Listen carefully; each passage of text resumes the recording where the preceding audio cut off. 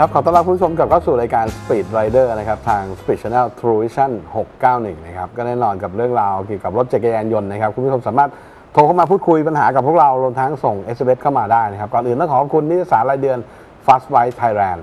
คิดถึงอะไรแต่งคิดถึง X Speed โซ่บิ๊กไบค์คุณภาพมาตรฐานต้อง DID ลูป 71 คู่หูนักบิด คู่มิตรนักปั่น กล่อง GLP เร็วแรงสั่งได้นะครับก็ต้องขอบคุณสปอนเซอร์ใจดีรวมทั้งครับ ขอบคุณล่วงหน้าไปยังสปอนเซอร์ที่จะมาอีกนะจริงๆแล้วเปิดรับอยู่นะเปิดรับนะครับใครที่เออคุณผู้ชมที่ดูอยู่นะครับสนใจ สนใจก็สามารถติดต่อเข้ามาทางรายการเราได้ ก็เปิดรับสปอนเซอร์ต่างๆ ผู้ใจดีแน่นอนครับนะในเบรกนี้ก็ต้องพูดคุยกันถึงเรื่องราวของ SMS ด้วย นะครับ ก็โทรเข้ามาได้ หรือว่า SMS ก็ได้นะครับ ก็จะมีอีกหนึ่งรายการเป็นกิจกรรมใหญ่ที่จะเกิดขึ้นในเดือนกุมภานี้ อ่า ใช่วันที่1ถึงวันที่ 5 กุมภาพันธ์นะครับ กับบางกอก Bike Fest ใช่ อืมซึ่งจัดขึ้นที่เซ็นทรัลเวิลด์ เออนี่งานใหญ่ประจำปีอยู่แล้วครับ สำหรับเหล่า biker ทั้งหลายเซนทรัลเวิร์ จัดในเมืองอืม นะครับก็จะเป็นอีกหนึ่งฤดูกาลที่หลังจากที่ไปใช้จ่ายเกี่ยวกับปีใหม่มาแล้วก็ใครอยากได้รถตอนนี้ก็มีโปรโมชั่นใหม่ๆ อีกครั้งหนึ่ง ของแต่งต่างมีๆร้านเยอะค้าต่างๆ แน่นอนเราเก็บบรรยากาศแน่นอนแล้วก็เจอพวกเราในงานครับ แน่นอนเซ็นทรัลเวิลด์ก็ฝากกันไว้ใครสนใจจะไปเดินเยี่ยมงานเยี่ยมชมเราไปเจอเราในงานได้ นะครับกับงานบางกอก Bike Fest นะครับที่เซ็นทรัลเวิลด์นั่นเอง 1ถึง5กุมภาพันธ์นะครับฝากไว้ด้วยนะแล้วก็มีอีกหนึ่งกิจกรรมอะก็นึ่งรายการของอะไรนะ Gypsy Carnival Gypsy Carnival นะครับ ก็คือวันที่ 18 กุมภาพันธ์นะฮะอือหือนี่ก็เดี๋ยวช่วงนี้งานเยอะไม่ต้องห่วงหรอกอากาศดีๆอย่างเงี้ยเชิญนะ พี่สุกี้ซึ่งเป็นประธานการจัดงาน ตอนนี้ ขี่ไปเชียงใหม่ เห็นบอกว่าไปแหกโค้งตกสะพานเหรอทางนู้นไม่ไม่ไม่ไม่ก็ถลงถลอกอะไรกันไปนะฮะ ก็เดี๋ยวกลับมาเราจะมานั่งพูดคุยกันกับใช่ ปีนี้ Carnival พี่ปีนี้เป็นพี่ยังไงพี่เกเว่นพี่เตียนะครับครับ เตรียมตัว อะเดี๋ยวจะครับมาผม รู้เรื่องกันว่า ปีนี้จะมีอะไรแปลกๆจะมีอะไรเซอร์ไพรใช่แล้วเราก็ไปเป็นส่วนหนึ่งของงานด้วยนะครับ แน่นอนทีมงานเราไปไปพี่บอมนะฮะก็ต้องไปอืม นะครับแต่ก่อนหนึ่งอุ๊ยก็มีก็มีอีกนะ เดี๋ยววันที่ 20 นี่นะ ครับ แล้วก็ขึ้นเหนือกันอีก จะเป็นกิจกรรมยังไง เดี๋ยวเดี๋ยวเดี๋ยวได้รู้กันอันนั้นเป็นกิจกรรมร่วมกับคาวาซากิใช่ ใช่ไหมครับอ่าครับผมเร็วๆนี้เจอกันแน่นอนโอ้โหนะครับกิจกรรม พี่น้องทางเหนือลำปางใช่ไหมบอกไปเลยปางลำปาง ลำปางนะแล้ววันที่เท่าไหร่นะยี่สิบเอ็ดยี่สิบสอง ยี่สิบเอ็ดยี่สิบสองนะครับ ใช่ เจอพี่ตู่พี่ก๊อฟ ครับพี่บอม แน่นอนพี่บอมถ้ามีโอกาสพี่บอมไปนู่นจะติดขอนงานแก่นมีงานอยู่ขอนพี่แก่นบอมไบไปวีคไปไบวีคขอนแก่นไบวีคก็แยกเราต้องแยกร้านไปแยกย้ายกันทำมาหากินไป ครับสายเหนือก็ไปเจอกันพี่ตู่พี่ก๊อฟได้ที่ลำปาง ครับไปกินทางเลกัน ส่วนสายอีสานก็แคบเจอกันหมูเจอกันได้ที่ขอนแก่นไบวีคนะครับพี่บอมพี่โบ๊ทครับเจอกันแน่นอนครับผม นะครับ อะ มาดู SMS กัน แบตเตอรี่ลิเธียมของมอเตอร์ไซค์นะครับมีลักษณะอย่างไร ถ้าเปรียบ เปรียบอะไรครับ เทียบกับแบตแห้งมีข้อดีข้อเสียอย่างไร แบตลิเธียมกับแบลิตเทีแห้ยงมเลยเหรอผมไม่เคยเจอเหมือนกันนะแบไม่ตลิเธียมไม่ไม่เคยเจอเคยเห็นแต่ในโทรศัพท์มือถือออืมมีแล้วเหรออาจจะอาจจะมีแล้วแบตที่แบบเป็นอาจแต่จะว่ามีแค่แล้วแค่แบตแห้งนี่ก็ยุ่งถ้าแล้วนะถ้ามีจริงๆเนี่ยแน่นอนว่าเรื่องของอายุการใช้งานเรื่องก่อนการดูแลรักษามันค่อนข้างที่จะ ผมพูดถึงลิเธียมนะอืมแทบไม่ต้องทำอะไรกับมันเลยอืม ก็ต้องบอกว่าเป็นเรื่องของเทคโนโลยีของแบตเตอรี่นะครับครับที่ให้กระแสไฟได้แรงยาวนาน ใช่ แล้วก็ทนกว่ามันเป็นการพัฒนาตั้งแต่เรื่องของแบตถ้าว่ากันนะไอ้คำว่าลิเธียมหรือเป็นก่อนหน้านี้เป็นลิเธียมไอออนเป็นอะไรนะก่อนจะมาเป็นลิเธียมก็มีเขาพัฒนามาเรื่อยเป็นเรื่องราวของการพัฒนา แต่ว่าแบตที่เคยเห็นจริงๆในซูเปอร์ไบค์จริงๆก็ก็จะเป็นแบตแห้ง ก็ยังเป็นแบตแห้ง นะครับส่วนใหญ่ที่ใช้แต่ว่าลิเธียมนี่ยังไม่เคยเห็น ไม่เคยเห็นเหมือนกันว่ามันใช้กันยังไง แต่ถ้ามีจริงๆผมว่าอายุการใช้งานมันน่าจะนานกว่า แต่ว่ารับรองว่าราคาแพงราคาแน่นอนถูกแค่แบตถูกแห้งแบตแห้งจริงๆนะยังแพงอ่าแต่คำว่าแบตแท้ๆนะแห้งนะไม่มีน้ำกันเลยนะ แห้งแท้ๆ ไม่รวมไอ้แบตที่เขาเรียกฟรีมาทนแนนที่ทุกวันนี้ใช้กันอยู่อย่าแบตกึ่งอย่าอย่าเข้าใจผิดนะ ที่บอกว่าฟรีมาทนแนนนี่คือหมายถึงแบตที่ไม่ต้องเติมน้ำกัน ครับ ไม่ได้แปลว่ามันไม่มีนะมันมีมี แต่ว่าเขาไม่ต้องเติมเขาแล้เรียว กว่ากึ่งแห้งมันเป็นกึ่งอัแห้ง เรียกกึ่งแห้ง แต่ถ้าแบตแห้งนี่คือเป็นแบตแห้งเลยแบตใช่ ไม่มีน้ำกันเลย ไม่มีเลย เพราะฉะนั้น แบตพวกนี้ราคาสูง ครับ นะครับ เพราะว่าอายุการใช้งานมันนานไง ใช่ แล้วก็หลาย ๆ คนที่ผมเห็นนะ ที่ใช้แบตแห้งอยู่สุดท้ายแล้วก็เปลี่ยนมาใช้แบตธรรมดา ไม่แค่นี้แหละ เพราะมันเป็นเรื่องของกระแสไฟจริง ๆ แล้ว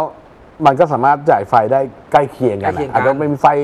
อาจจะจ่ายแรงกว่ามีแอมป์เยอะกว่าก็จริง แต่ว่าสุดท้ายแล้วเรื่องการดูแลรักษา maintenance มันสู้ไม่ไหวครับ นะครับแม้กระทั่งรถไปถึงรถยนต์ที่เป็นซุปเปอร์คาร์ทั้งหลายใช่ นะที่ใช้แบตแห้งก็สุดท้ายแล้วก็ต้องแบต ก็ต้องน้ำยอมกลับมาเป็นแบตน้ำเหมือนเดิม แต่พวกนี้เขาเขาคือว่าเขาเพราะปราลี่ยนคามันถูกกว่ากันสองสามเท่า รถแข่งซุปเปอร์คาร์พวกนี้เขาแบบมีปัญหาปุ๊บยกเปลี่ยนไม่เหมือนเรา มีปัญหาปุ๊บเข้าร้านชาร์จก่อนถูกเช็คต้องอะไรอย่างเงี้ยนะครับนะครับ ว่ากันไปอะเอเวต่อไป Duke 390 หรือ SV 650 ดีครับขนาดดี KTM ใช่ไหมดุ๊ก KTM 390กับตัวที่เป็นสปอร์ตใหม่ที่เพิ่งออกใช่ไหมดุกด Duke เป็น naked ไม่ Duke เป็น naked bike อ๋อตัว naked อ่า390ซีซีมันก็คนละเรื่องแล้วนะครับ แล้วก็ SV 50ก็เป็นอีกคนละสไตล์เหมือนกันนะครับอืม Duke ก็เป็นรถที่มาจากทวีปยุโรปนะครับเป็นรถจากประเทศออออสสเตเตรรีเลียยนะฮะตรียเรื่องของความดุดันตัวนี้อย่าเพิ่งไปคาดหวังอะไรมันมากอะเพราะต้องบอกว่าอัตราเร่งมัน มันก็มีการพัฒนามาจากตัว Duke 200 แหละ อืมแต่ว่ารูปทรงของมันอะก็จะใหญ่ขึ้นใหญ่ขึ้นครับนะฮะแล้วก็ปริมาตรความจุก็จะใหญ่ขึ้น อืม แต่ความแรงถึงบอกว่าอย่าไปหวังในเรื่องของความแรงของมัน ครับ เขาต้องว่ากันตามทีตัวซีเนี้ยอะ บอกเลยว่า KTM ตัวเนี้ยโดดเด่นในเรื่องของช่วงล่าง ใช่นี่กำลังจะพูดอืมเพราะว่าช่วงล่างของเขาเนี่ยเป็น White Power ครับซึ่งเป็นอ่าติดติดกับรถมาเลย แล้วครับ White Power ตัวเนี้ยสามารถปรับได้ทั้งโช้คหน้าและโช้คหลังนะครับอ่า โดยระบบกระเทือนหน้าก็เป็นแบบ upside down ระบบกระเทือนหลังก็ เป็นแบบเนี่ย monoshock ซึ่งเป็น White Power ทั้งคู่คำว่า White Power ก็เนี่ยเปรียบเทียบได้กับ Öhlins นะ อืม ใช่ไหมที่เขาเป็นคู่แข่ง คู่แข่งกันทางการตลาดนะครับ ช่วงล่างดีนะครับ แต่ส่วนของ SV นี่เป็นไงก๊อฟลองยัง SV ก็คือเป็นรถสูบ V อืม นะครับ65 650 cc ก็ต้องบอกว่าเป็นเป็นเครื่องยนต์ที่ให้กำลังในช่วงต้นและช่วงกลางที่ดี ที่เป็นสูบ V ด้วยเนี่ยเวลาต้องการ torque เร็วๆ ต้องการแซงเร็วๆอย่างเงี้ยสามารถที่จะ กระแทกคันเร่งออกมาได้เลย ถ้ามาเทียบระหว่าง 390 กับ 650 นี่มันมันเทียบกันไม่ได้ไม่ได้ซีซีมันต่างกันเยอะอันนี้มัน SMS ต่อจากเมื่อกี้ป่ะเขาบอก SMS รถคันไหนตอบโจทย์ มากกว่ากันใช่ไหมไปกับวันละประมาณประมาณอันเดียวกันเลยเหรออ๋อดูให้จบก่อนนะไปกลับวันละประมาณเลื่อนหน่อย SMS ร้อยกว่าโลหรือเปล่าประมาณอะไร SMS เลื่อนหน่อยครับ นี่เป็นไง80โลแปดสิบโล ขี่ให้สบายสบายๆอ๋อไปกลับเหรอแสดงว่าไปสี่สิบเองดิ อืม ต้องการรถที่มีซีซีและช่วงล่างที่ดีขึ้นกว่าเดิม ก็ถ้าช่วงล่างที่ตอบโจทย์ ไปกลับ 80 โลผมว่าตัวดุกดุก